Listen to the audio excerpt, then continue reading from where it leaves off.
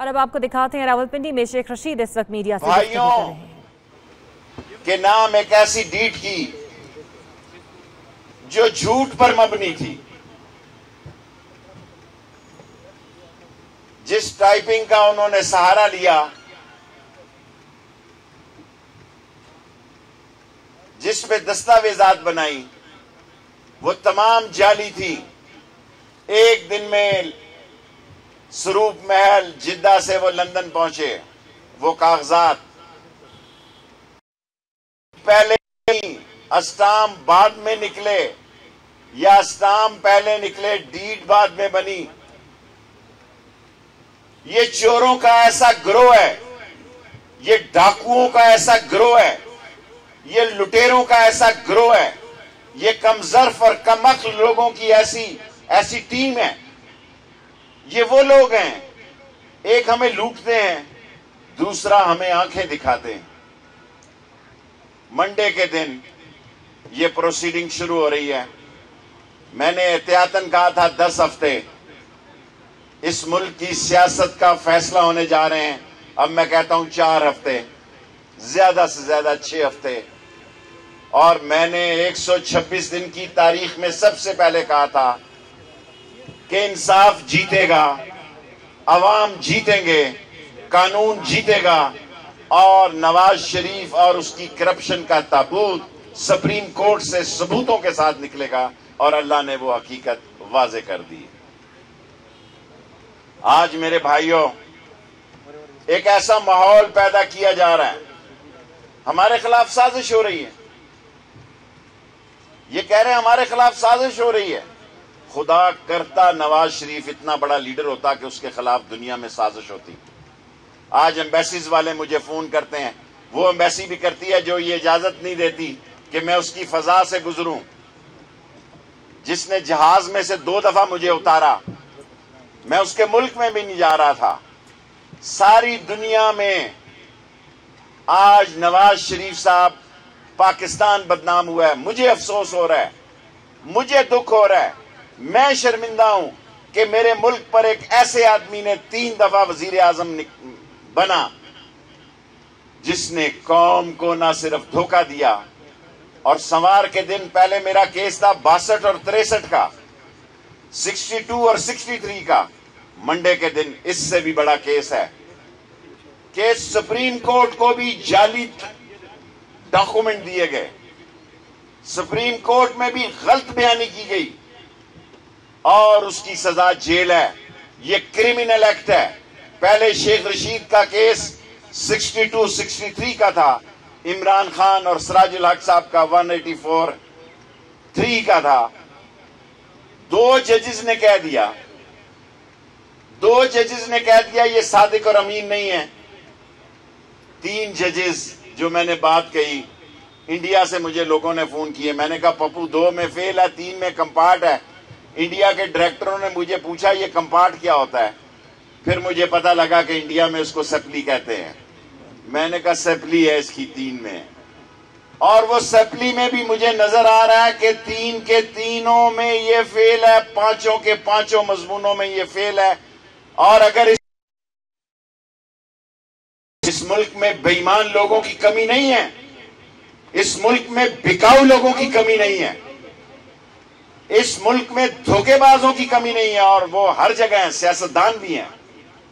لیکن آج عوامی مسلم لیگ عمران خان کے ساتھ کھڑی ہے۔ آٹھ سال پہلے کھڑی تھی اور ہم نے اس کے ساتھ کندھے سے کندھے ملا کے یہ ثابت کیا کہ اس ملک میں دو حقیقی اپوزیشن لیڈر ہیں۔ ایک کا نام عمران خان ہے اور دوسرے کا نام شیخ رشید ہے۔ جناب شیخ رشید احمد جناب شیخ رشید احمد مجھے مجھے خوشی ہے کہ پیپلز پارٹی نے بھی مطالبہ کیا ہے۔ ذرا پیچھے ہو جائیں یار ایک تو یہ کیمرہ مین ہی پاکستان میں بیس کروڑ کیمرہ مین ہو گئے ہیں۔ ذرا سے پیچھے ہو جائیں آپ۔ تھوڑا سا بیٹا پیچھے ہو جائے مجھے خوشی ہے آج میں نے ناشتہ اعتزاز احسن صاحب کے ساتھ کیا ہے۔ شام ڈنر میں نے لطیف کھوسا صاحب کے ساتھ کیا تھا۔ اور آج کل میں نے دوپہر خورشید شاہ صاحب سے میٹنگ کی۔ میں نے کہا، شاہ صاحب، پہلی دفعہ آپ پٹڑی پہ چڑھے ہیں۔ پہلی دفعہ آپ نے مطالبہ کیا ہے کہ نواز شریف مستعفی ہوں۔ شاہ صاحب نے، اعتزاز احسن نے، لطیف کھوسا صاحب نے تینوں بندوں نے مجھے کہا، شیخ رشید، یہ ہماری آپ کو زبان ہے، اس سے ہم پیچھے نہیں ہٹیں گے۔ سو ہم ان کو خیر مقدم کرتے ہیں۔ اور یہی حال جماعت اسلامی نے بھی کیا۔ اور سراج الحق صاحب کے میں نے گھٹنوں کو ہاتھ لگایا سپریم کورٹ میں۔ میں نے کہا جی آپ سیدھے سیدھے کیس کی طرف آئے۔ میں میں نے کبھی سوچا نہیں تھا میں رات سے یہ کیس پڑھ رہا ہوں۔ پہلے میرا خیال تھا کہ نواز شریف ہی چور ہے۔ جو آج ابھی عمران خان نے کہا، میں نے سارا خاندان کہا، انہوں نے پنجابی میں کہا، سارا ٹبر ہی چور ہے۔ میرا نہیں خیال تھا، بلکہ میں تو شرمندہ ہو رہا تھا۔ پہلے میرا خیال تھا، یہ حسن حسین چھوٹے چھوٹے بچوں نے کس طرح اربوں روپیہ اکٹھا کر دیا۔ اٹھارہ سال کی عمر میں ہمارا شناختی کارڈ نہیں بچتا ہمارے بچے کا۔ اٹھارہ سال کی عمر میں یہ آٹھ آٹھ سو کروڑ کے فلیٹوں کے مالک بن گئے۔ اور جو بات میں آپ کو سمجھانا چاہتا ہوں، یہ بڑی سمجھنے کی ضرورت ہے۔ یہ بڑے پلینر ہیں۔ یہ کرو ہیں، کرو۔ کرو سمجھتے ہیں۔ وہ ڈبا بھی، وہ کیا تھا، ایک ڈبل شاہ جو تھا۔ دکھاتا کچھ تھا، مارتا کچھ تھا، راستہ کچھ دکھاتا تھا، یہ کرو ہیں۔ یہ گینگ آف فائیو۔ انہوں نے پلاننگ کے تحت اپنا ایک بچہ سعودی عرب میں بھیجا۔ پلاننگ کے تحت ویل آرگنائز پیپل دوسرے بچے کو لندن بھیجا۔ مسٹر بروک ایک آدمی آیا تھا جب انہوں نے مشرف کا دور تھا۔ جب موٹر وے کے بعد اس نے بتایا کہ ان کے سوئٹزرلینڈ میں پیسے ہیں شیخ سعید۔ یہ شیخ سعید کا ہی بھتیجا یا بھانجا ہے جوید کیانی۔ اس کے نام پر لیکن شوکت عزیز بھی آدھا ملا ہوا تھا۔ اس ملک میں انٹرسٹ بڑے ہوتے ہیں بڑے آدمی کے یہ یاد رکھنا۔ غریب کی کوئی دلچسپی نہیں ہوتی۔ جس کی چھت ٹپکتی ہے، اس کی کوئی دلچسپی نہیں ہوتی۔ جس کے گھر میں بیٹی کے بال سفید ہو رہے ہیں کہ رشتے کے خرچہ نہیں ہے۔ جس کا بیٹا عمر کے اس حصے پہ پہنچ رہا ہے کہ روزگار نہیں ہے، وہ ہر وقت اللہ سے یہی دعا مانگتا ہے، ملک کی سلامتی کی، اسلام کی سربلندی کی اور غریب کی بہتری کی۔ اس کو یہ چالیں نہیں آتی۔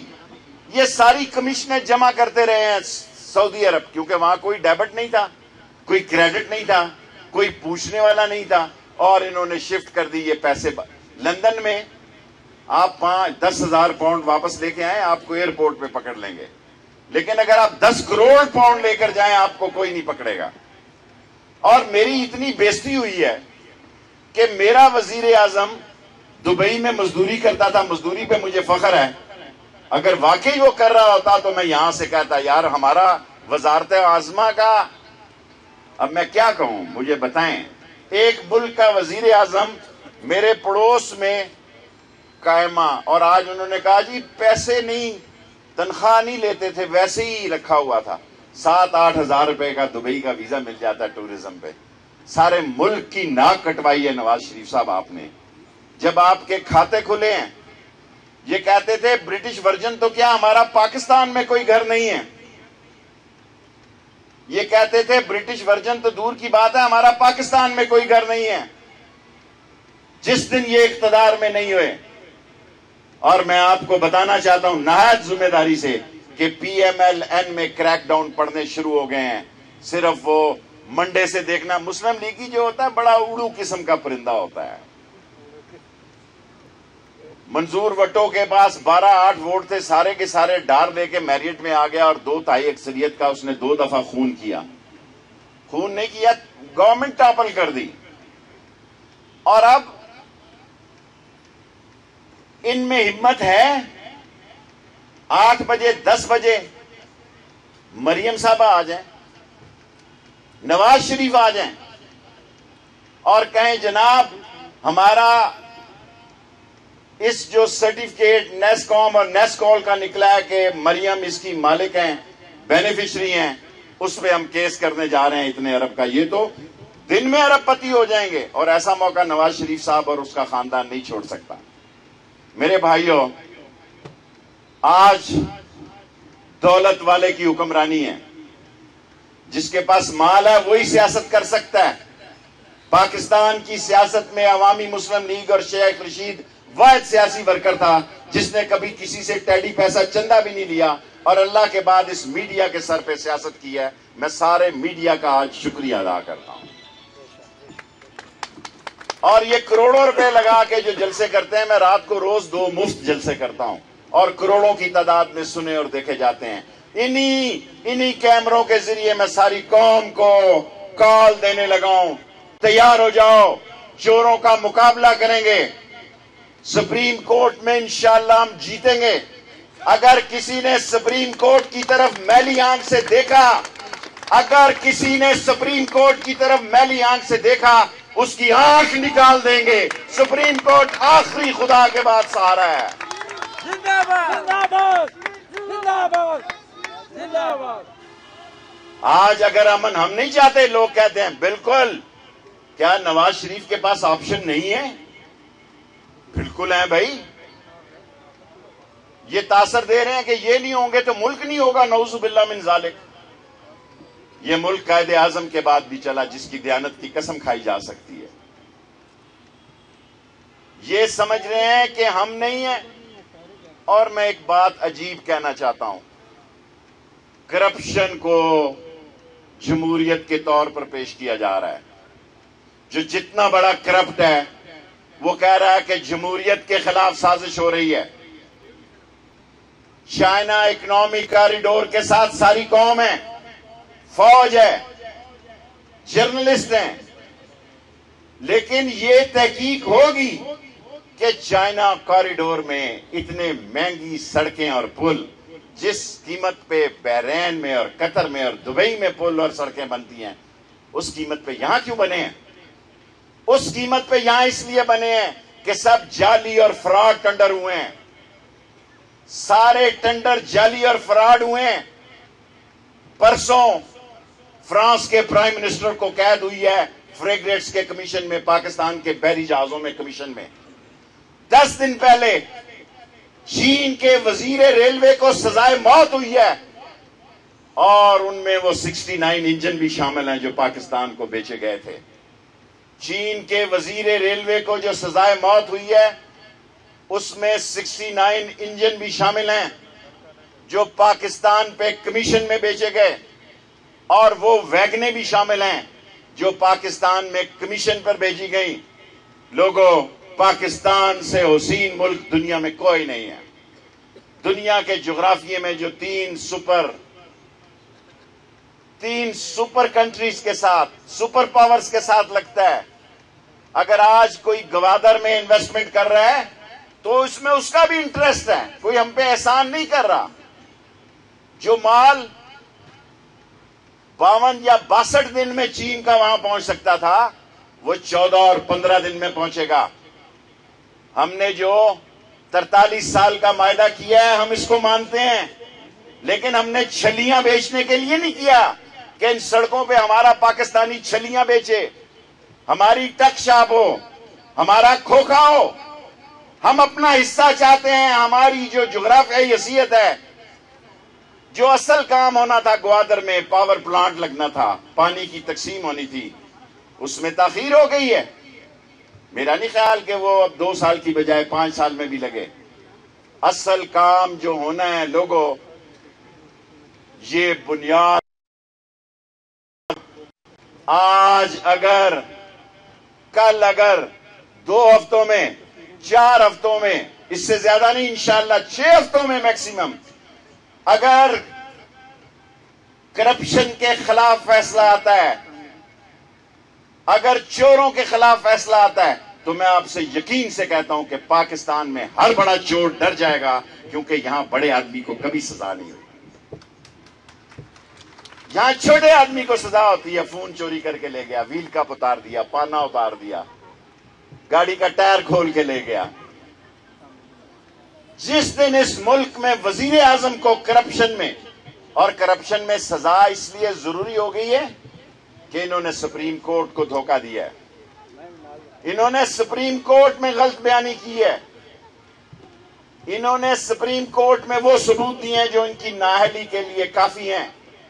میں چوئی ناصر صاحب کا نہ صرف شکریہ ادا کرتا ہوں، بلکہ دو تین باتیں کہنا چاہتا ہوں اپنی قوم کو۔ قوم کے مسلمانوں، زندگی اور موت اللہ کے قبضے میں ہوتی ہے۔ عزت اور ذلت اللہ کے قبضے میں ہوتی ہے۔ نفع، نقصان اللہ کے قبضے میں ہوتا ہے۔ صحت اور بیماری اللہ کے قبضے میں ہوتا ہے۔ جس کا یہ ایمان نہیں، وہ کامل مسلمان نہیں ہے۔ سارا عالم اسلام تباہی کے دھانے پہ آ گیا لوگوں کہاں سے شروع ہوں؟ کہاں سے میں شروع ہوں؟ یونس سے نکلوں، عراق سے نکلوں، لیبیا سے نکلوں، یمن سے آؤں۔ یہ تباہی ہمارے بارڈر پہ پہنچ چکی ہے۔ اور اس ملک میں اگر اسلام اور اسلامی دنیا کے خلاف جو تباہی پھیل رہی ہے، اس کو روکنا ہے۔ تو کامل ایمان کے ساتھ ہمیں انصاف کے ترازو کے ساتھ کھڑا ہونا ہے۔ ہم یہ نہیں چاہتے کہ اس ملک میں جمہوری نظام کو نقصان پہنچے۔ نہیں چاہتے۔ لیکن ہم یہ بھی نہیں چاہتے ایسی جمہوریت جس میں چوری آئے، جس میں ڈاکو آئے، جس میں لٹیرے آئے، جس میں بےمان آئے، اس میں عام آدمی کیوں نہیں آ سکتا؟ کیا ہم ووٹ دینے کے لیے پیدا ہوئے ہیں؟ کیا ہم نعرے مارنے کے لیے پیدا ہوئے ہیں؟ کیا ہم لوگوں کے پوسٹر لگانے کے لیے پیدا ہوئے ہیں؟ کیا ہم زندہ باد اور مرد آباد کے نعرے لگانے پڑتے ہیں؟ ہم پیدا ہوئے ہیں ان چوروں، لٹیروں، ڈاکوؤں سے ایک ایک پائی کا حساب لینے کے لیے اور بیس کروڑ لوگ سپریم کورٹ کے پیچھے اور جے آئی ٹی کی رپورٹ کے ساتھ کھڑے ہیں۔ پاکستان زندہ باد اسلام زندہ باد اور غریب عوام زندہ باد thank you very Sheikh Rashid ایک بار پھر مخالفین پر برسے اور خوب برسے۔ کہا کہ اب وقت آ چکا ہے کہ نواز شریف کو اپنا راستہ ملک کے لیے ناپ لینا چاہیے۔